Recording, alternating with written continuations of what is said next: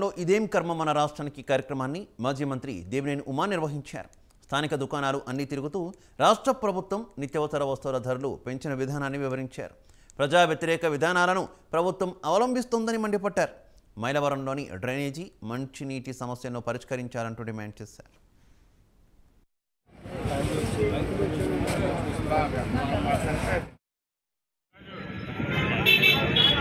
ఎండ వచ్చినా వర్షం